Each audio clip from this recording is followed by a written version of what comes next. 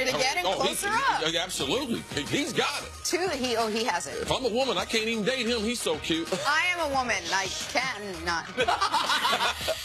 Different reasons. To the NBA now, Blazers Mavs rookie Dennis Smith Jr. showing off his 48-inch vertical pass to himself. What's wrong, CC? CC, I'm going to get us back on track here with one of my zany theories you love so much. This should count as an assist, just like what Daniel House did last earlier this week, throwing off himself in the backboard. What about assist the rule, Nick, in basketball you can't pass to yourself? Well, that's what I'm saying. That's why it's a zany theory. We should adjust that rule. Oh, that Get one, the and you can't take a charge Uh, well, under that's the a bucket. separate, separate rule. That's a safety issue, sir. and Bulls. Malik Monk with the baseline jam.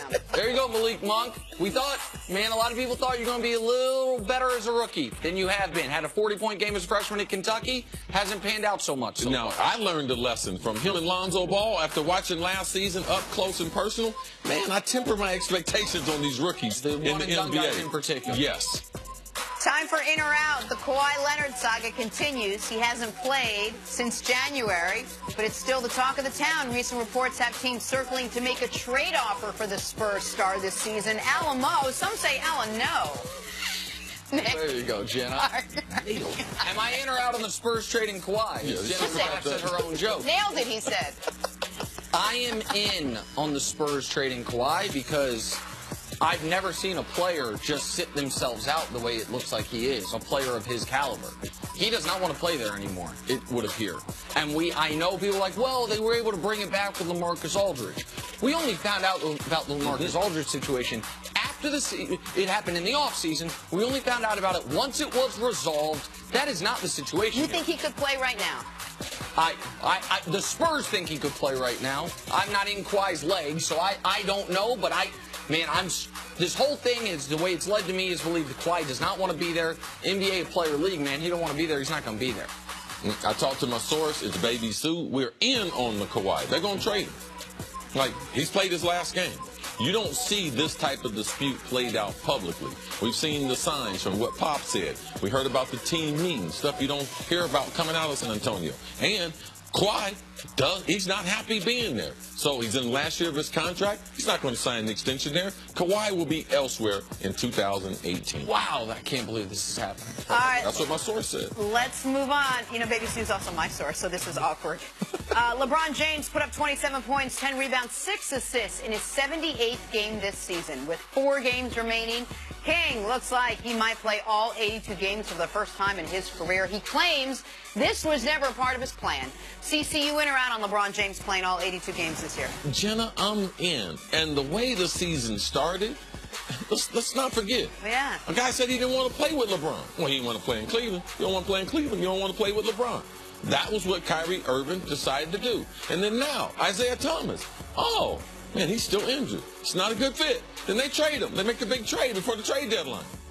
It's kind of evolved to this, but man, if he's going to pass Michael Jordan, because he ain't going to be able to pass them six championships, he ain't going to be able to pass that six and zero. Hey man, he got to be able to do it with longevity and numbers, and this would be a number in season 15 that I would say would be significant.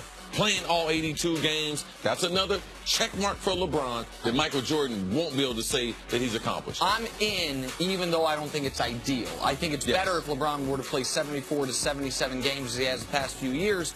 But CC nailed it. There's the. it- At what point could he have rested?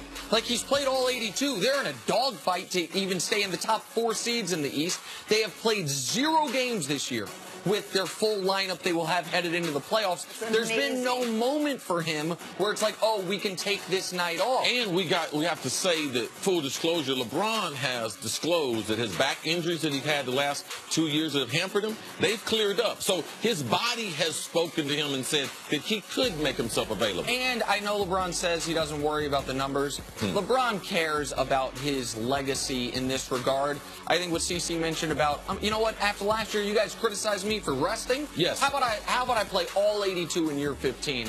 I think that plays into it as well, even if it wasn't premeditated before the year. All right, potential rookie of the year, Ben Simmons led the 76ers to a win last night. That's 11 straight for Philly. Dr. J was there for his statue unveiling, and he said Simmons is, quote, a once-in-a-lifetime player. Nick Wright, you in or out on Ben Simmons being a once-in-a-lifetime player? I am out, and I will channel my inner Cris Carter. Do people know how long a lifetime is? Like Ben Simmons right now is not even a once in his division player. Like I mean, the, the, or in his conference. Like Right. his best case scenario is to be a lesser version of LeBron. And if he develops a jump shot, by the way, I think he could get there. Like, but so no, he's not a once in a lifetime type of player. He should be the unanimous rookie of the year. He is a fringe all star already, but no, not once in a lifetime. If we have a draft just of his own team, oh, let me have the first pick. We're playing a pickup game. Who you gonna take? Oh, this guy's a once in a lifetime over here. Ben Simmons, he can't shoot outside of five feet. Can't beat Jenna in horse. or I'm going with Joel Embiid. Oh, let's stop it, people. Now, Joel Embiid, he's a once every decade type player, all right? A once a lifetime. Dr. J is one of my favorite all time, but, you know, uh, something. No, no, no, Doc. No, Doc, I understand. They just put a statue out there in front of you. You got to say good things about the team. What took them so long? But yeah, why, why, why we wait till now for the statue? All right, finally, Giancarlo Stanton made his uh, Yankee Stadium debut last night, and it was a little bit different from the uh, Yankee debut. Wasn't spectacular. He finished 0 for 5 for his first five strikeout game of his career. After his last swing and a miss, Yankee faithful let him hear it. They actually booed. He wasn't upset after the game. He understood that he didn't play well. But Nick, you in or out on a Yankee fans booing Giancarlo Stanton? I say this to all my friends that work on this show, all the people I live around in New York City. The hell's wrong with y'all?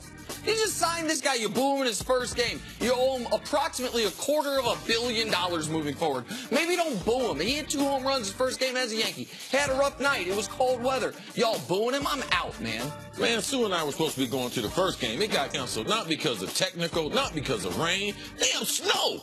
Yeah. Okay, so we're supposed to go to yesterday's game. Oh, it was a blazing 39 degrees in New York City with a little mist falling on us. No, as Yankee fans, that's what we do. Man, we boo. You know what he looked like yesterday? What? He looked like he was in Miami and too cold. He was trying to get to the dugout. That's the only thing time he moved fast during the game. That was going from the batter's box to the dugout to get warm. As Yankees fans, that's what we do. That's what they do. Five, five times? You boo five times, 0 for 5. Coming up.